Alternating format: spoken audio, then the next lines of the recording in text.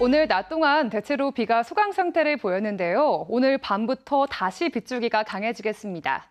현재 부안과 고창, 정읍과 순창, 4개 시군에 호우 예비특보가 내려진 가운데 특히 내일 새벽부터 오전 사이 시간당 최대 50mm, 내일 오후에도 시간당 30mm 안팎의 강한 비가 집중되겠습니다.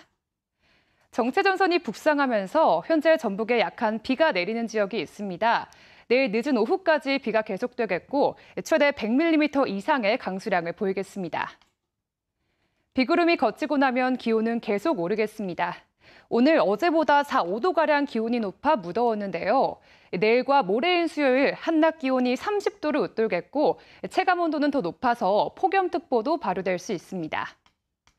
자세한 지역별 날씨 보시면 아침에 익산 24도, 전주 25도로 열대야 가능성이 있습니다. 한낮에는 익산과 전주 30도까지 오르겠습니다. 동부 내륙은 진안과 장수 22도로 출발해 한낮에는 28도까지 오르겠습니다.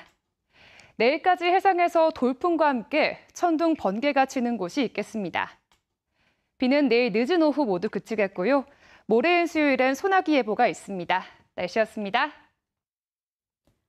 뉴스를 마칩니다. 네, 시청해주신 여러분 고맙습니다.